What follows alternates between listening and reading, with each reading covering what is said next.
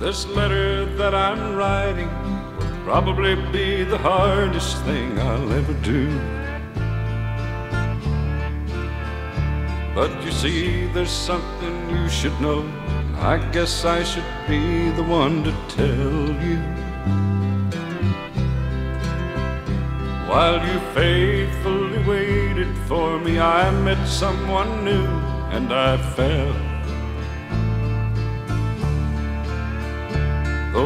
May not want to hear it, Sandy sends her best, and she and I both wish you well.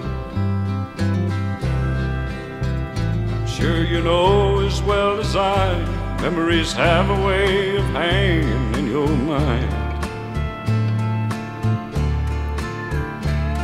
And there's a lot about you I know I'll remember for a long, long time. But she's the girl that I love now, I guess more than I love my life itself.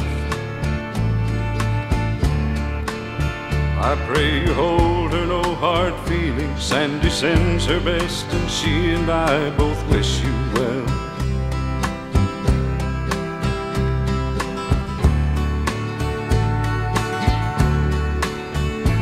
Maybe someday forgive and realize that some things happen for the best. If it's any consolation after all the others, until her I loved you best. By the time you read this letter, we'll be gone. I guess that's all there is to tell.